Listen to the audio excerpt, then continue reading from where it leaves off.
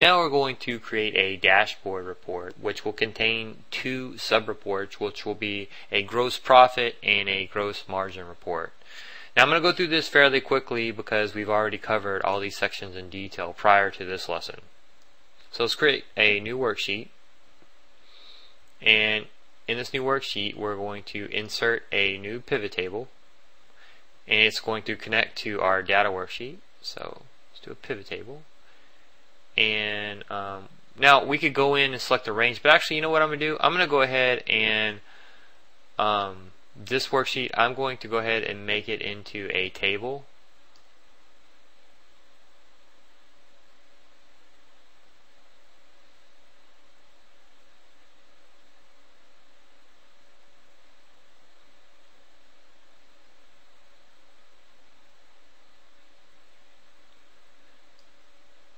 Okay. Alright, so now we have a table. So it's very similar to a list in Excel 2003 um, in the fact that it's all contained um, kind of within one object. So that way we don't have to select the range. So let's go back here to our sheet 2 and let's go ahead and create the pivot table. So I'm going to go to Insert, Pivot Table, and I'm going to go select our table here It's just table 1. And click OK. And there's our pivot table. So let's go ahead and rename this because this is gross profit. And we're just going to put in our customer and our revenue and our cost of goods sold. And now we're going to create a calculated field in which we subtract our cost of goods sold from our revenue. So move this over here. And we're going to go to our formulas. And let's create a calculated field. I'm going to call this gross profit. And that will be our revenue minus our cost of goods sold. Okay.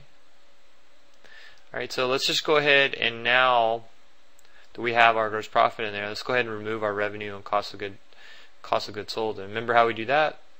So many different ways. Uncheck cost of goods sold and uncheck revenue. Now, um, we want to format it and remember that's under our field settings.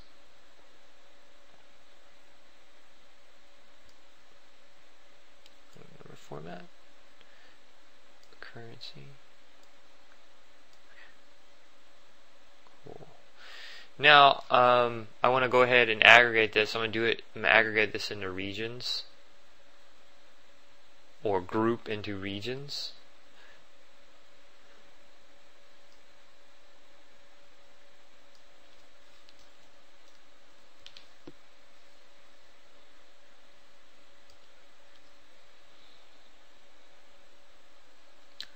let's call this Asia. I'll call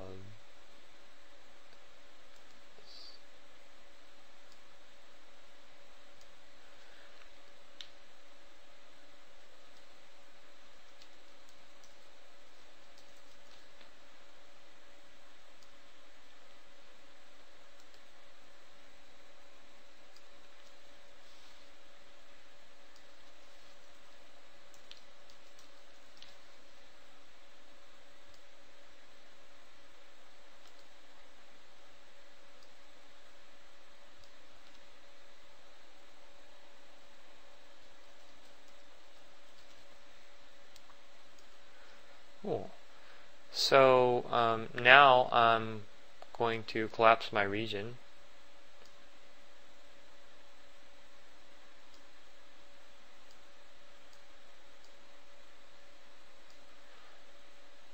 Great, okay, that looks good. Now, um, what we're going to do is I'm going to create a new worksheet here, and I'm going to call this dashboard.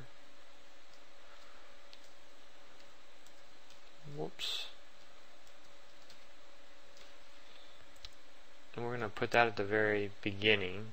Let's put our source data at the end. So we'll probably end up hiding that because we don't really need to see it.